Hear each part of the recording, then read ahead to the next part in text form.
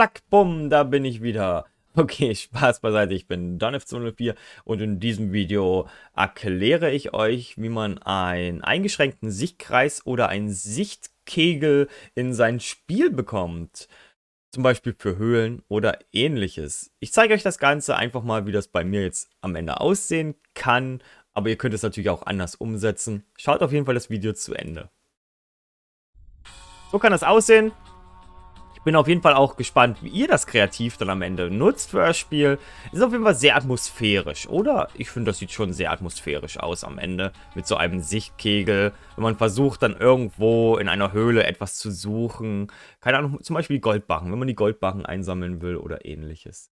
Okay, und wie man das macht, zeige ich euch jetzt in diesem Video. Zuerst lösche ich mal kurz hier die Events raus, weil wir wollen ja bei 0 anfangen. Ihr öffnet euren RPG Maker ähm, euer Projekt, in dem ihr den Sichtkegel haben wollt oder ihr nehmt ein Testprojekt, einfach neues. Und dann öffnet ihr das Grafikprogramm eurer Wahl. Bei mir wäre es im Normalfall Photoshop, aber ihr könnt natürlich auch GIMP verwenden. Link ist in der Videobeschreibung. Und ich werde es euch jetzt erstmal mit GIMP zeigen und dann zeige ich euch das Ganze nochmal mit Photoshop. Und dann sollte eigentlich alles ziemlich klar sein. Wie gesagt, ich werde jetzt GIMP verwenden.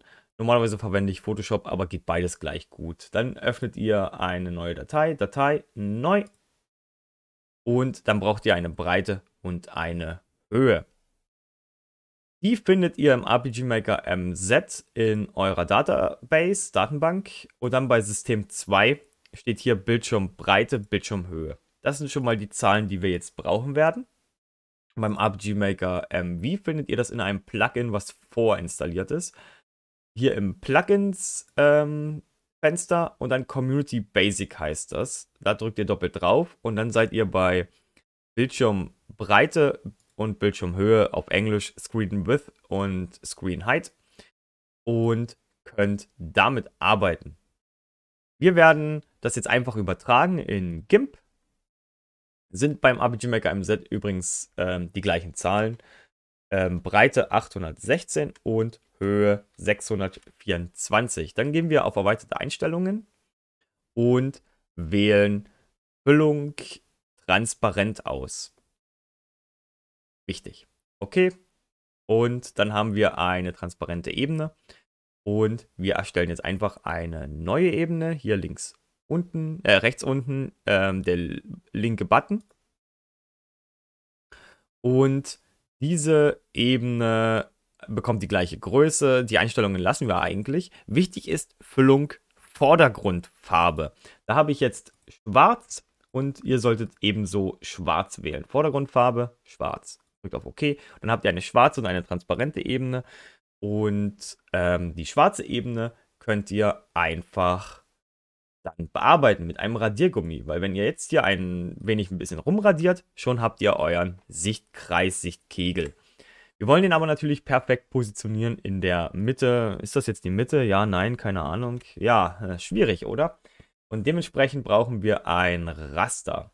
Ein Raster bekommen wir bei Bild und dann Raster konfigurieren. Wir machen das Ganze Vordergrundfarbe schwarz, ähm, Hintergrundfarbe äh, rot, beides rot. Und ähm, dann könnt ihr aussuchen, was ihr am besten findet. Jetzt gestrichelt oder durchgängig etc. pp. Könnt auch andere Farben wählen. Spielt keine Rolle. Wichtig sind hier die Maße. Wir wählen die halben Maße von unserer Grafik. Das sind einmal 408 in der Breite, weil 816 durch 2 sind 408. Dann ähm, öffnen wir hier das Schloss. Und 624 war die Höhe. Also brauchen wir 312 und drücken einmal auf OK. Dann gehen wir auf Ansicht und schalten das Raster an, falls ihr das noch nicht gemacht habt. So wie bei mir zu sehen, war das Raster jetzt nicht zu sehen. Ähm, falls es bei euch auch nicht zu sehen ist, dann Ansicht, Raster einmal anzeigen lassen. Gut, dann habt ihr ein Raster und könnt auch den Mittelpunkt perfekt treffen und zack, dann habt ihr den Mittelpunkt getroffen mit dem Radierer. Ihr könnt dann im Grunde ähm, über die Größe und über die Härte könnt ihr aussuchen, wie euer ähm, radiertes radierter Kreis aussieht. Ihr könnt alle möglichen Einstellungen verändern, je nachdem, wie ihr das Ganze braucht und wie ihr das haben möchtet. Da sind eurer Kreativität natürlich keine Grenzen gesetzt. Und wir radieren jetzt einfach hier rein. Zack, so. Wir lassen es jetzt einfach mal so. Oder ich klicke nochmal rein, machen wir es ein bisschen ähm, durchsichtiger und fertig. Das war's schon. Das ist unser Sichtkreis. Wir machen erstmal einen Sichtkreis. Ist etwas einfacher, bis ich euch die Sichtkegel dann zeige am Ende des Videos. Wir exportieren das Ganze als PNG-Datei. Ähm, hier steht jetzt umbenannt PNG. Wir nennen das Ganze Lichtkreis und speichern das unter Documents ähm, äh, AMMZ. Ähm, da speichere ich das rein, weil ich habe ein RPG Maker MZ-Projekt. Je nachdem, wo euer Projekt ist, meins heißt jetzt Projekt 1, dann bei IMG Images abgekürzt, da rein, dann bei Pictures, da müsst ihr rein und hier könnt ihr es dann abspeichern. Einfach auf Exportieren, Klick und exportieren. So, dann haben wir es im RPG Maker. Dann kann ich es auch anzeigen lassen. Werdet ihr gleich sehen. Wenn ich jetzt hier einfach ein neues Event erstelle, das Ganze auf Auslöser parallel stelle und ein Bild anzeigen lasse, auf der Seite 2 der Ereignisbefehle Bild zeigen. Und dann suchen wir hier Lichtkreis. Ich drücke einfach die L-Taste und dann komme ich hier schon zu meinen Grafiken mit L. Und da habe ich den Lichtkreis, den ich gerade eben erstellt habe. Da drücke ich auf OK, OK, übernehmen, OK. Und jetzt wird dieser angezeigt, werden wir gleich sehen. Da ist das Spiel, dann können wir das gleich mal angucken. Sieht doch gar nicht so schlecht aus für den Anfang. Einziges Problem, er bewegt sich nicht mit dem Spieler mit. Mm, das ist natürlich nicht so schön. Das behebt sich aber recht schnell und einfach. Ihr geht wieder in euer Event hinein, geht zu den Inhalten, doppelklickt da drauf einfach und dann Variable steuern. Ich habe hier schon zwei Variablen benamst. Einmal Spieler äh, unterstrich KO unterstrich X und dasselbe mit Y. Ihr könnt das natürlich anders nennen, wie ihr möchtet. Gut, ich wähle Spieler unterstrich KO unterstrich X aus.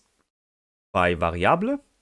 Bei Operation einstellen und bei Operand wähle ich Spieldaten und dann Character, Spieler und dann nicht Karte X, sondern Bildschirm X. Wichtig. Drück auf OK, drück auf OK und dann habe ich die erste drin. Die kann ich einfach kopieren, einfügen und mit Leertaste bearbeiten. Dann wechsle ich hier auf Spielerkoordinate Y.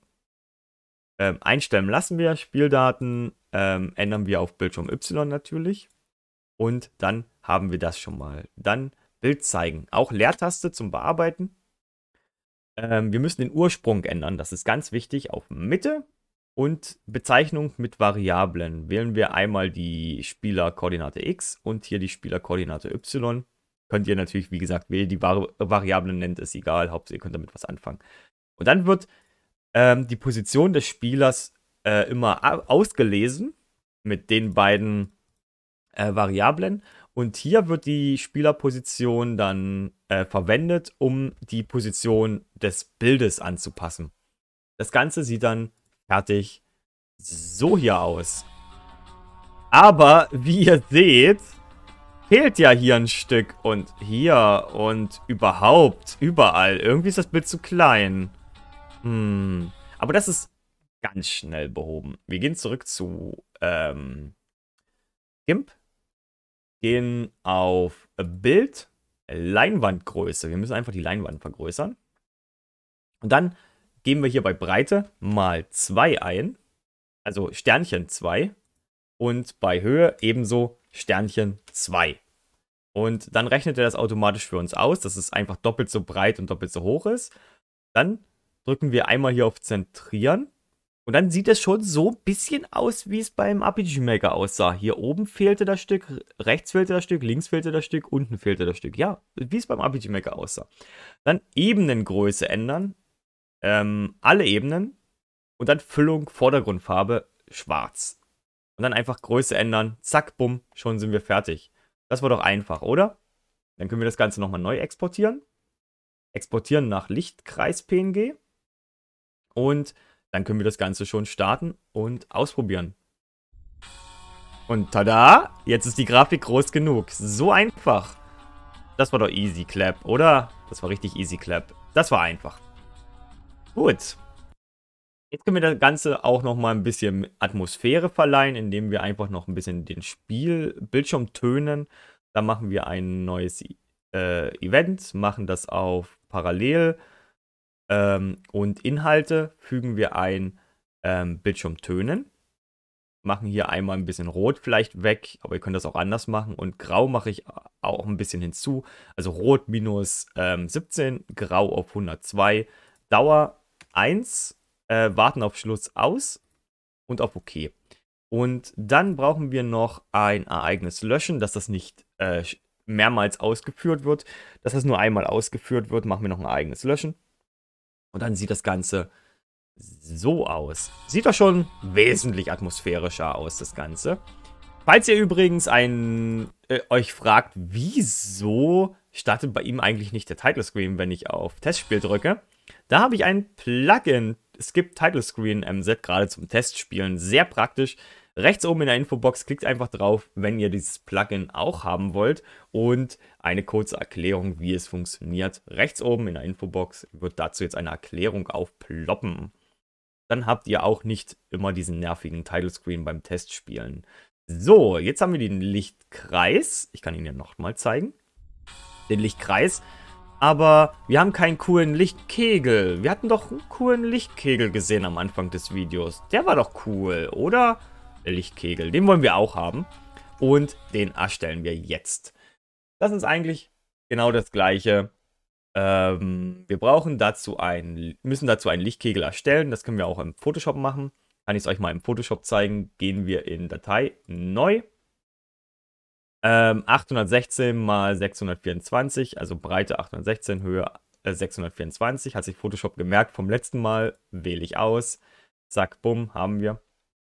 Ähm, färbe ich schwarz ein. Habe ich vergessen, aber es ist nicht so schlimm. Kann ich nachträglich machen. Und dann ist das eine Hintergrundebene. Die, da muss ich kurz doppelt draufklicken, um es zu einer normalen Ebene umzuwandeln. Zack, sonst kann ich nämlich nicht drauf radieren. Und dann kann ich drauf radieren und sehe den transparenten Hintergrund. Da wähle ich jetzt Härte 0 und ein bisschen größer machen wir das Ganze. Wir können auch mit Ö oder Raute die Pinselgröße jederzeit ändern, je nachdem wie wir es brauchen. Und ähm, dann versuchen wir einfach einen Kegel zu erstellen. Das ist eigentlich gar nicht so schwierig. Das sieht jetzt vielleicht schwierig aus, aber das ist nicht schwierig. Okay. Mit Alt-GR kann ich ähm, den Mittelpunkt genau auswählen und dann einmal so klicken. Ungefähr so. Okay. Dann habe ich schon mal einen Kreis. Das ist ein bisschen groß geworden vielleicht. Machen wir ein bisschen kleiner. Machen wir es vielleicht so. Oder? Hm. Ach, eigentlich ist es egal. So, wir machen ihn einfach aber ich habe die Deckkraft nicht auf 100. Deckkraft auf 100 natürlich. habe ich ähm, falsch gemacht. Mein Fehler. Zack. So, machen wir ihn so. Und dann machen wir daraus ein Sichtkegel. Das ist eigentlich recht einfach in Photoshop.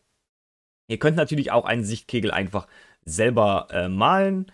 Einfach, zack, hier so ein Sichtkegel selber gemalt. Oder ihr ähm, erstellt einen Sichtkegel mit äh, solchen Tools hier. Geht natürlich auch. Ähm, und löscht das dann raus. Also es ist vieles möglich. Ihr könnt das einfach selber malen. Ihr könnt auch mit Deckkraft spielen. Indem ihr einfach ähm, hier die Deckkraft verändert. Könnt ihr übrigens auch über die Zahlentasten ganz schnell machen. Zum Beispiel, wenn ich die 1 drücke, ist nur 10% Deckkraft. Wenn ich die 5 drücke, sind 50% Deckkraft. Und dann kann ich ähm, mit mehr oder weniger Deckkraft äh, radieren. Dann kann ich ähm, einen schönen Kegel reinradieren, wenn ich das denn möchte und könnte jetzt zum Beispiel hier so einen Kegel reinradieren. Ähm, aber wir machen das ein bisschen anders. So, da habe ich ähm, gut den Kreis ähm, nicht gelassen, weil ich einfach blöd bin. Aber das ist nicht schlimm. Geht ganz schnell. Zack, bumm. Und dann radieren wir da einfach wieder das Loch hinein. Aber es ist wieder ein Hintergrund. Oh. Fehler passieren, ist nicht schlimm. So, jetzt aber. Zack.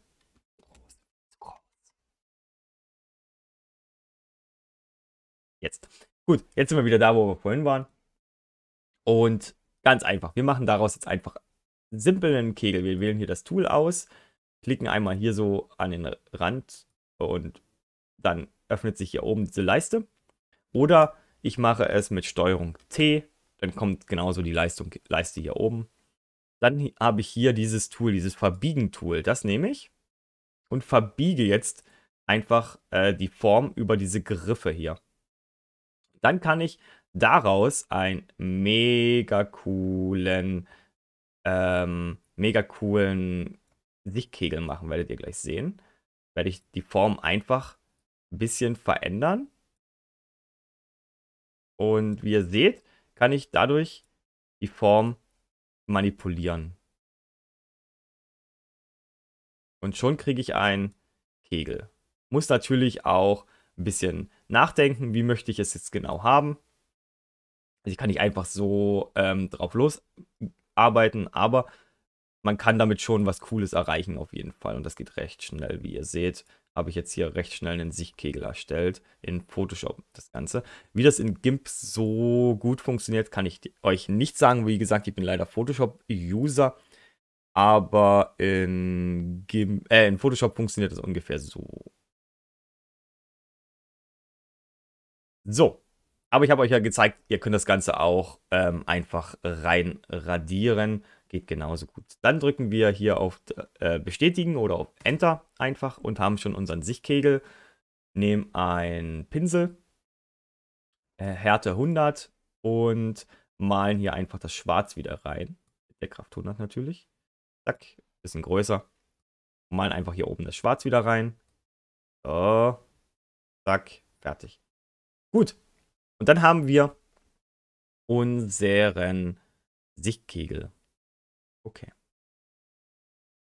Jetzt ist der Sichtkegel aber nicht mittig. Hier ist die Mitte und der ist viel zu weit ähm, links.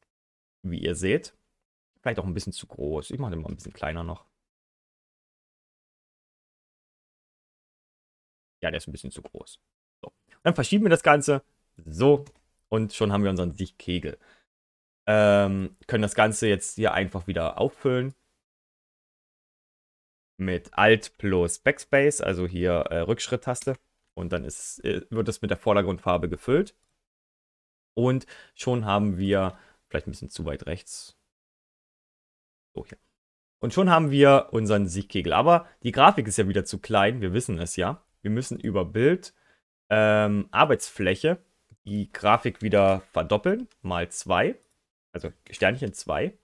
Und schon haben wir unsere größere Arbeitsfläche drücken auf OK und tada, schon haben wir unsere größere Arbeitsfläche, markieren wieder alles und füllen es einfach wieder schwarz aus mit Alt und Rückschritt.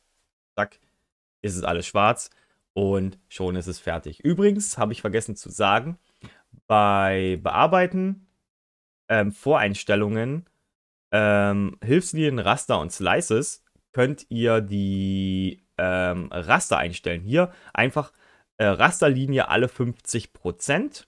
Also 50% heißt in der Hälfte des Bildschirms und dann ist es schon fertig. Also dann müsst ihr nicht groß mit Zahlen rechnen oder ähnliches. Einfach bearbeiten, ähm, Voreinstellung, ähm, Hilfslinien, Raster, Slices. Rasterlinie alle 50%. Hier könnt ihr die Farbe auswählen. Und dann über Ansicht ähm, anzeigen, Raster könnt ihr das anzeigen oder über die Tastenkombination Alt, Umschalt, Steuerung. Ähm, gut, dann haben wir das fertig. Jetzt bräuchten wir das Ding viermal in vier Varianten, in vier Richtungen. Wir haben jetzt nur die rechte Variante, Datei, ähm, Kopie speichern. Äh, auf meinem Computer, ja. Bitte drum. Ähm, PNG und dann einfach ähm, Licht Google und dann einfach zum Beispiel R, Unterstrich R. Wichtig, keine Leerzeichen in die Dateinamen. Das ist ganz wichtig beim RPG Maker MV und RPG Maker MZ. Immer mit Unterstrich arbeiten. Hier ist es ja auch so, Actor 2 Unterstrich 3 zum Beispiel. Immer mit Unterstrich arbeiten, nicht mit Leerzeichen. Das ist ganz wichtig, sonst könnte das zu Fehlern kommen und euer Spiel könnte eventuell nicht starten oder zwischendurch abstürzen. Okay. Also wichtig, immer ähm, mit Unterstrich arbeiten, nicht mit Leerzeichen. Dann speichern wir das Ganze, Lichtkugel äh, R wie rechts, weil die zeigt nach rechts. Und dann brauchen wir das Ganze einmal gedreht. Wir wählen hier oben das Tool aus, gehen hier an den Rand, drehen es einmal um. Wenn wir Shift gedrückt halten, können wir das auch nur im 45 Grad Winkel drehen. Und dann können wir es auch perfekt einrasten bei 180 Grad. Ähm, Kopie speichern, ja, anwenden natürlich. Kopie speichern, PNG, ähm, Lichtkugel L dann nach links. Das Ganze dann natürlich noch nach oben. Jetzt ist es wieder nicht äh, voll, aber das ist kein Problem. Zack. Zack. Schwarz. Zack. Datei. Ähm, Kopie speichern auf meinem Computer. PNG. Lichtkugel ähm, ab, aber Kugel. Kugel, damit ich die alte Grafik nicht überschreibe. Lichtkugel ab. Und dasselbe dann auch nach unten. Zack. Und dasselbe auch nach unten. Ähm, Kopie speichern auf meinem Computer. PNG. Lichtkugel unterstrich ähm, down für unten. Könnt natürlich auch die deutschen Bezeichnungen machen. Ihr könnt das benennen, wie ihr wollt. Gut, dann haben wir vier Richtungen und die brauchen wir jetzt auch, weil jetzt könnten wir natürlich ähm, unseren, unsere Lichtkugel, habe ich es hier genannt, ach, Lichtkreis wäre es gewesen. Egal, ist nicht so schlimm. Wir wissen alle, was gemeint ist. Wir können natürlich jetzt hier zum Beispiel Down auswählen. Und dann sieht das Ganze so aus. Sieht ja gar nicht so schlecht aus. Aber ähm, das Problem ist natürlich durchaus, dass wir jetzt die Blickrichtung des Charakters nicht haben. Außerdem fällt mir auf, dass die Datei ein wenig zu weit unten ist. Also könnten wir sie noch ein bisschen höher schieben. Vielleicht ungefähr so. Das ist mir gerade auch aufgefallen. Aber gut, das sei jetzt dahingestellt. Ähm ja, komm.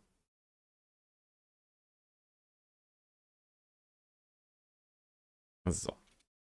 Das jetzt dahingestellt. Ähm, die speichern PNG und dann einmal der nach oben. Genau. Und einmal der nach unten. Die speichern beim Computer. P mhm, ja, Pixar. Nein, PNG natürlich. Wir sind hier nicht bei Pixar. Ähm, und nach unten. Ja, überschreiben bitte.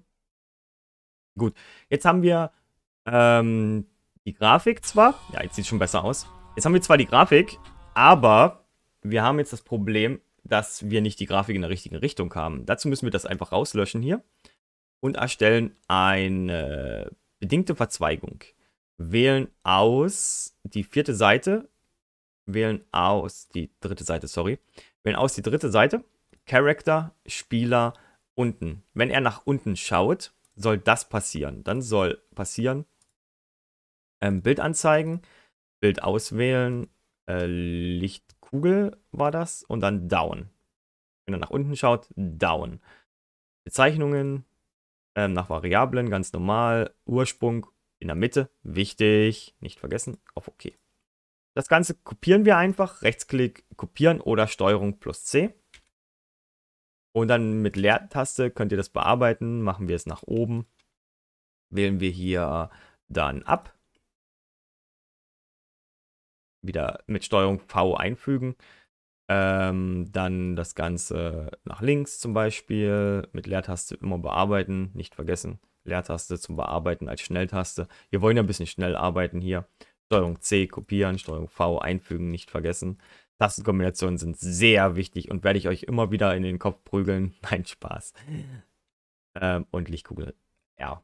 Gut, dann haben wir die Richtungen und jetzt wird nur die Grafik angezeigt, in die wir gucken. Und dann gucken wir mal, ob das Ganze funktioniert. Und es funktioniert. Sieht doch schön aus, oder? Sieht doch schon ganz gut aus. Also ich finde das gut so. Einzige, die Rechts- und Links-Grafiken müssten ein bisschen nach links verschoben werden, beziehungsweise nach rechts, aber das ist nicht das Problem. Ähm, zack. Das soll nicht das Problem sein. Da muss man halt ein bisschen experimentieren. Das ist aber nicht das Problem. Zack.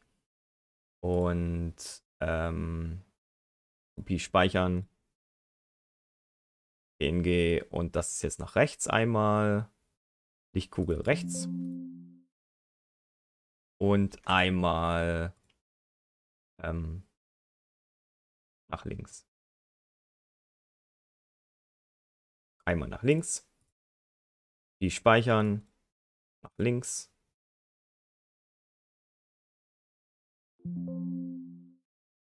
Und schon haben wir die Grafiken fertig und können das Ganze angucken. Ja, sieht doch schon viel besser aus. Und schon fertig. Das war's. Dann können wir hier mit der Taschenlampe rumrennen.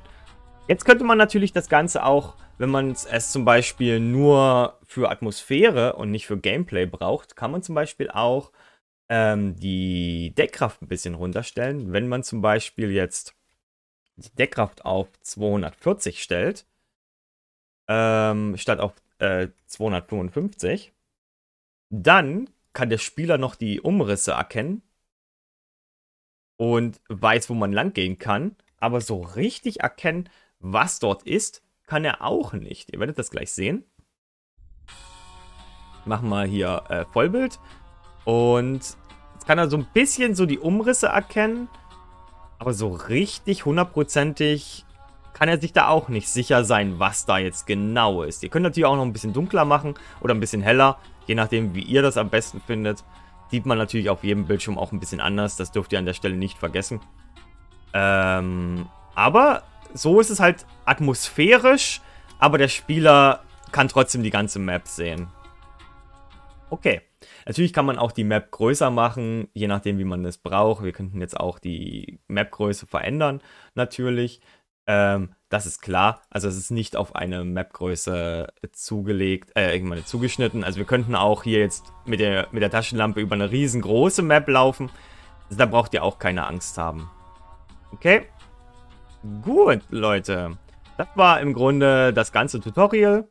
Ich hoffe, es gefällt euch. Und ich hoffe, ihr habt ein bisschen was gelernt. Ihr könnt ja mal ein Like da lassen, wenn es euch gefallen hat. Und das Ganze Basiert übrigens auf einem alten RPG Maker Tutorial von 2011, was ich selber mal gemacht habe.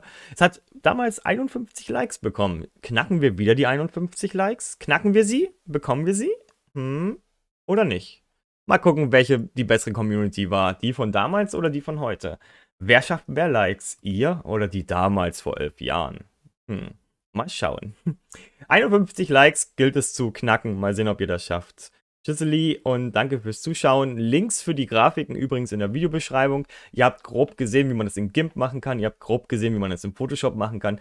Natürlich ist das hier kein GIMP und kein Photoshop-Tutorial. Das sollte klar sein.